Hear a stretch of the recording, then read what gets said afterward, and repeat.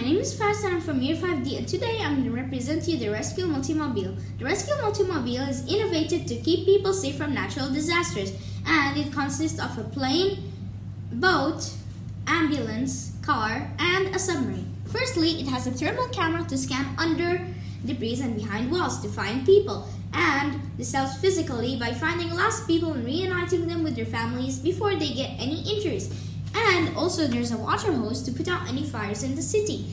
This helps physically by putting out fires in the city to let people on their path to make it to safely to the multimobile. And it has a and the vehicle has a very strong drill that almost breaks every single rock and strong blades to push away any debris has foldable wings with attached solar panels to conserve and create energy. Also, there is a tail for balancing.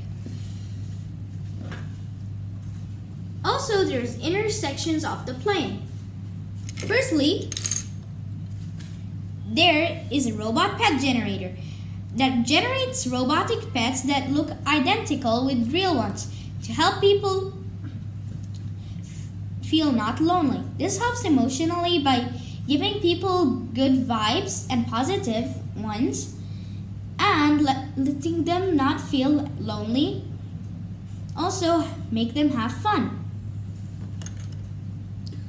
And there's this robot that talks with people when they feel lonely and to motivate them.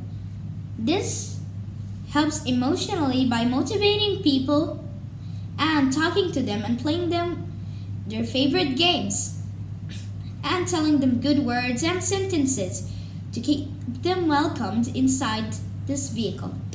And last but not the least is this magical machine.